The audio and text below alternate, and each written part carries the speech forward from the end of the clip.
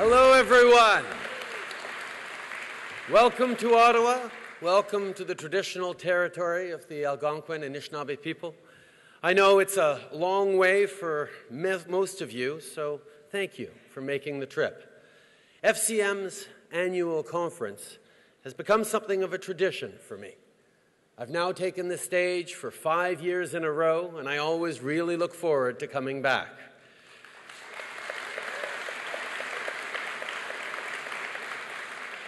This event gives me a great opportunity to reflect on the work being done in and for Canadian communities. We know that our country is only as strong as the towns and cities we're made of. We're only as strong as our rec centers and social housing or our wastewater systems and public transit. Whether you're living in Vancouver or Val d'Or, the place you call home matters to you and therefore it matters to me. Federal, provincial, municipal, we all strive to create spaces that are more livable, more welcoming, and more prosperous. That's our job, and we can never forget that we're in this together. We heard you loud and clear when you told us you needed a strong partner in Ottawa, a partner that would listen to you and work with you to improve the lives of Canadians across the country, our government is proud to be that partner.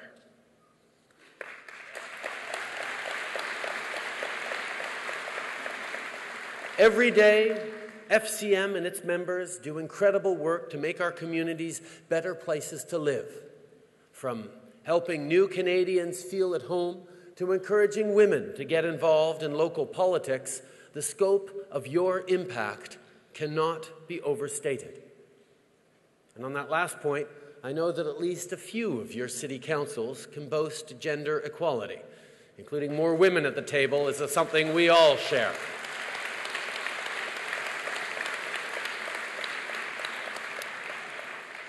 Last year, I talked about our ambitious plan to invest in infrastructure and give middle class Canadians the help they need today while preparing for the future. And since then, we've been able to accomplish a lot together. So far, nearly 3,000 infrastructure projects have been approved across the country. These projects were ready to go, and your communities needed them. And on that note, I want to thank my friend Amarjeet Sohi for all his incredible work.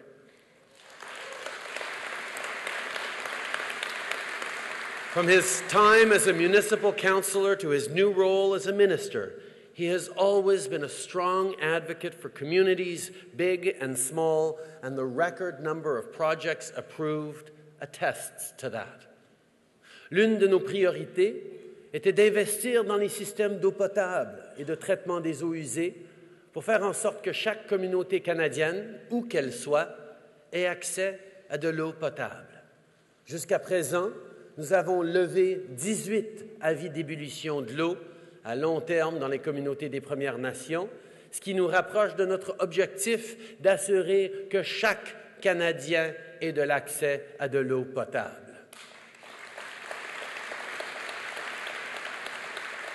Aucun Canadien ne devrait avoir à s'inquiéter de la qualité de l'eau que les membres de leur famille consomment et dans laquelle ils se lavent ou s'amusent dans le but d'améliorer la qualité et la sûreté de nos sources d'eau, nous avons mis à niveau et réparé des systèmes d'eau potable et de traitement des eaux usées à travers le pays, y compris dans les petites communautés et les communautés isolées. Par exemple, nous sommes en train de construire un nouveau réservoir à Watson Lake au Yukon pour que les familles aient accès à de l'eau potable tout au long de l'année sans interruption. Et à Lunenburg, en Nouvelle-Écosse, nous réalisons des mises à niveau plus que nécessaires au système de traitement des eaux usées pour que les enfants puissent bénéficier d'eau propre et ce, pour des générations à venir. It's not necessarily sexy, but these projects are the backbone of strong and growing communities. We've also made historic investments in public transit. For a decade, municipalities and provinces didn't have the support they needed to keep up with the rapid pace of growth. You are leading your communities through big changes. Some of our big cities have had their populations double and their boundaries expand. Towns now need more elaborate bus networks to navigate their streets effectively and trains that connect them to city centres. There's no doubt that the need for better, more efficient public transit is shared amongst communities big and small. Canadians need transit to get them to work in time, for, uh, it, to work in time and for the morning and home for dinner at night. We knew that investing in the things we needed, both for right now and for the future, we would create jobs, strengthen our communities, and grow our middle class. But in order to have a real impact on the lives of real people, we needed your help. We turned to you, the experts, to identify the projects your communities needed most, and we got to work. For the people of Sudbury, this means speeding up the bus fleet rebuild progress and, and providing better access to the Kingsway. For commuters in Regina, this means enhancing safety and security on buses and replacing old buses with newer ones. And for students living in Gatineau across the river, it means expanding the Rapibus system so they can get to their classes on time right here in Ottawa. These investments made in Phase 1 are providing much needed improvements to our existing networks. Improvements that make our cities and towns safer, more efficient, and more enjoyable places to live. Notre deuxième budget s'est appuyé sur les progrès réalisés jusqu'à présent pour poursuivre ce travail.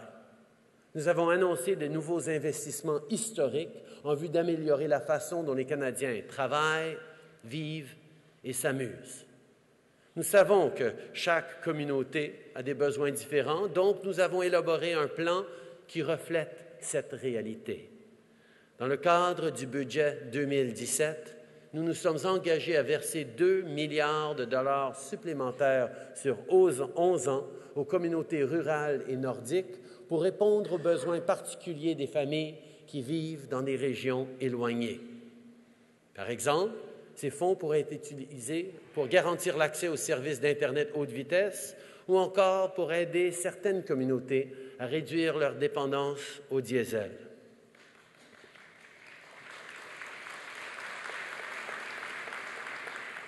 Pour vous aider à réaliser vos priorités et atteindre les cibles que vous avez fixées pour vos communautés, nous nous sommes aussi engagés à verser un financement prévisible et réservé aux municipalités. Nous avons également reconnu le fait euh, que l'ancien mode de partage des coûts entre les gouvernements municipaux et provinciaux et le gouvernement fédéral ne fonctionnait pas toujours. Nous avons donc augmenté notre part jusqu'à concurrence de 40% pour les projets de construction et de développement du transport en commun et de 50% en ce qui concerne les projets d'amélioration des systèmes existants. And by working with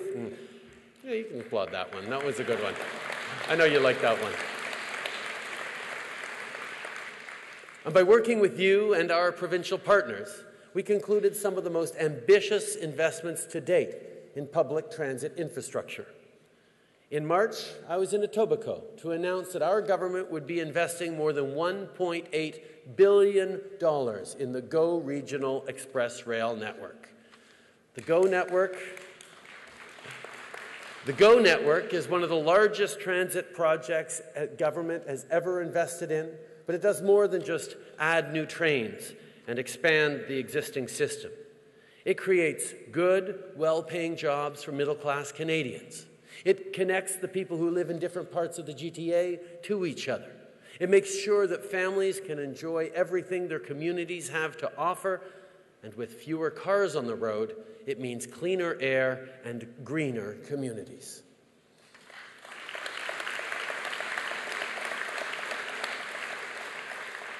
Across the country, we also heard from too many Canadians who struggle to find a safe and affordable place to live. Seniors who are forced out of their homes because they can no longer afford to pay rent. Young professionals who work long hours but still have to postpone buying their first home. Women and kids who fled violence at home and have no safe place to turn. This is the heartbreaking reality for far too many Canadians. Our cities and towns are the front lines of the very real housing challenges facing millions of Canadians. You told us that you needed more resources and more support, that you need a serious federal partner here for the long haul. And that's why we decided, decided to take action in Budget 2017. Over the next 11 years, the federal government will invest $11.2 billion dollars to build and repair more affordable homes for people in need.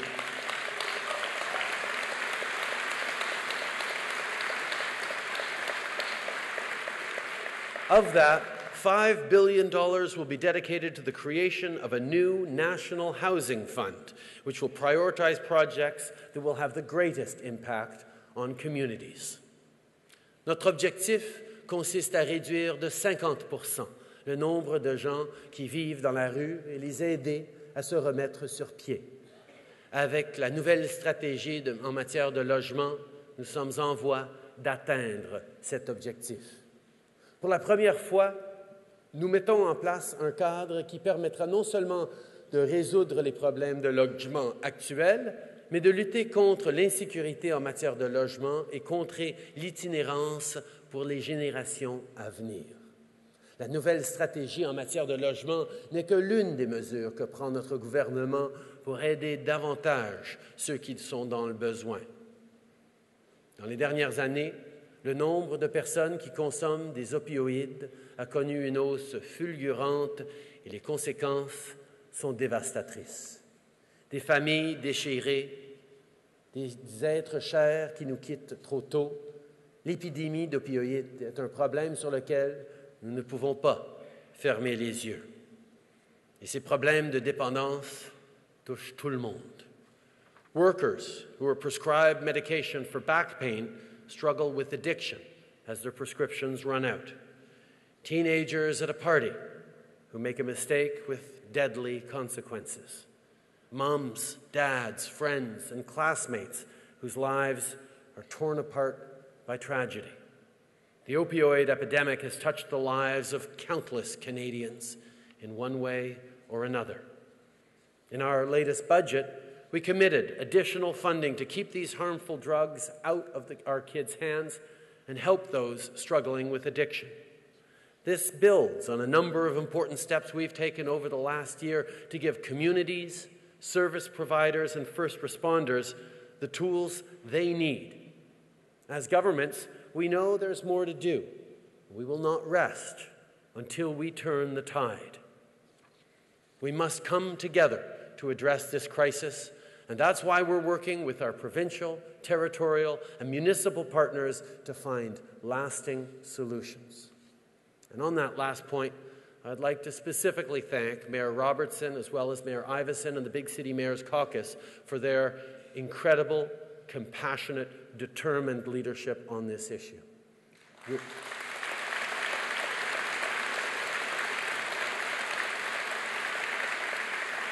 We're listening and we're here to work with you. Overall, we've built a plan that not only provides immediate fixes for the short term, but that also creates long term solutions to some of the greatest challenges facing Canadians and their families.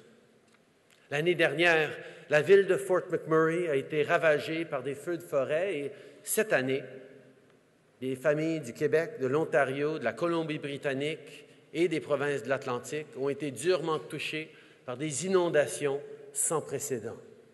Nos communautés continueront à faire face à de nouvelles épreuves en raison des changements climatiques. Nous le savons. Nous devons donc nous préparer et poursuivre la transition vers une économie axée sur l'énergie propre. Dans le cadre de notre dernier budget, nous avons annoncé que 2 milliards de dollars serait investi dans la mise sur pied d'un fonds d'atténuation et d'adaptation en matière de catastrophes. Au cours des derniers mois, nous avons constaté les conséquences dévastatrices que des conditions météorologiques extrêmes peuvent avoir sur des familles, des commerçants et leurs communautés.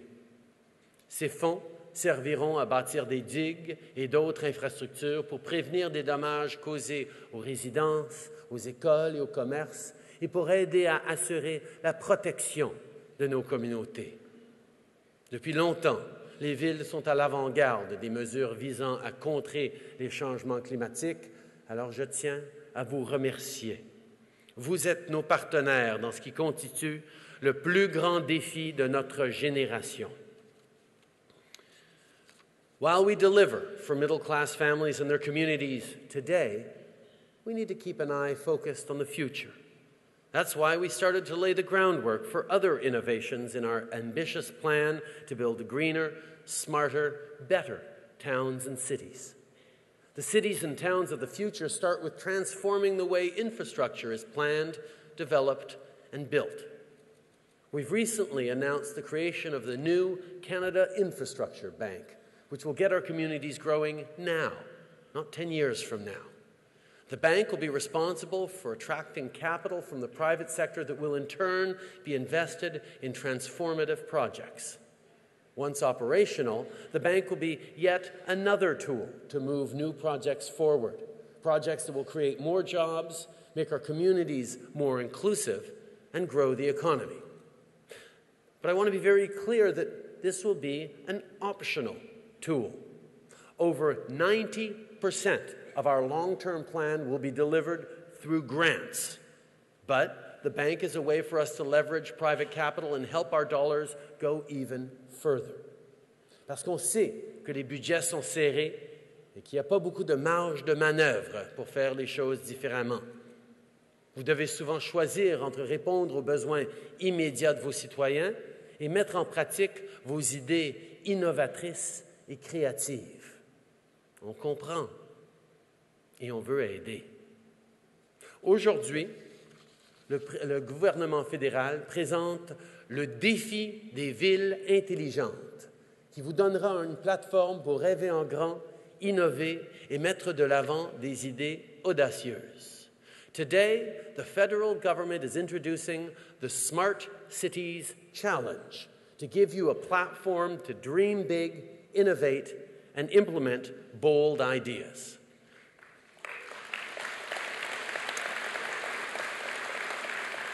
Nous invitons les communautés de partout au Canada à élaborer un plan ambitieux visant à améliorer la qualité de vie de leurs citoyens et ainsi contribuer à bâtir l'avenir du Canada. Les villes de l'avenir seront intelligentes. Est-ce que ça se traduira par de la fibre optique entre chaque résidence et chaque commerce? Des routes et des feux de circulation intelligents? ou encore des réseaux de distribution d'énergie décentralisés qui fonctionnent dans les deux sens, ou tout ça ensemble, ou d'autres choses entièrement? À vous de décider et de démontrer. We're inviting communities across Canada to develop ambitious plans to improve the lives of their residents and help us build Canada's future. Working with local businesses, innovators, and entrepreneurs, communities will be able to submit their plan for innovation, and the most promising designs will receive funding to bring those ideas to life. We will launch three separate editions of the Smart Cities Challenge, with the first edition beginning this year.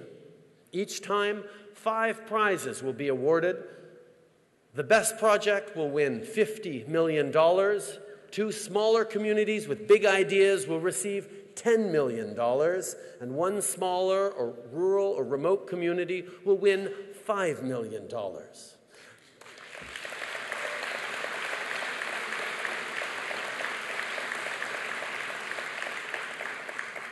An additional $5 million will also be given to a project for an Indigenous community.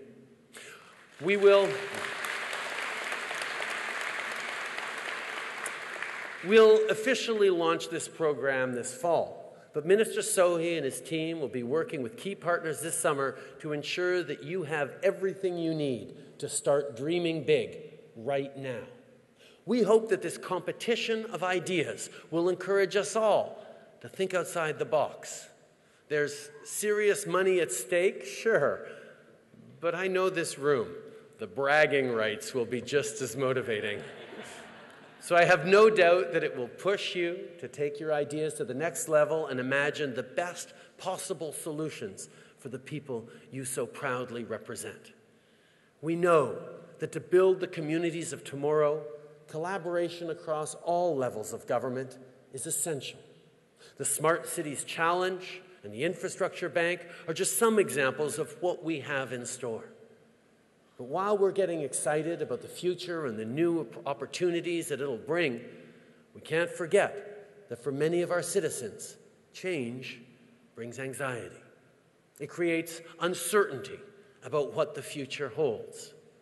So while we're imagining the cities of tomorrow, our government is also making sure that Canadians have access to good middle class jobs today, that our kids have even better opportunities than we did, that we can all grow old in the communities that we built.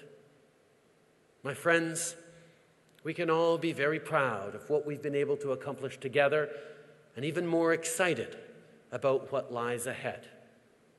Thank you for your partnership and for all that you do for Canadians and their families every day we are building stronger, more inclusive communities where every Canadian can live, work, and succeed. Communities that our children and grandchildren will be able to enjoy for generations to come because of the collective leadership in this room today. Merci beaucoup, mes amis. Thank you very, very much.